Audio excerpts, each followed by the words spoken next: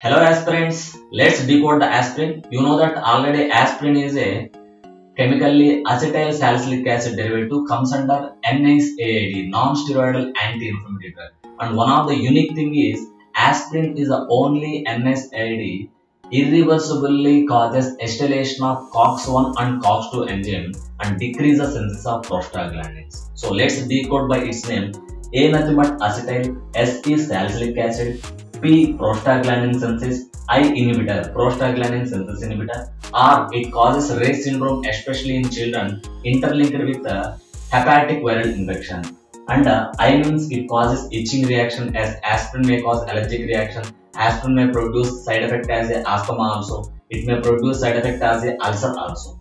And uh, N, one of the common side effect of aspirin, it may causes ringing sound in the ear that is tinnitus, nothing noise disturbance in the ear.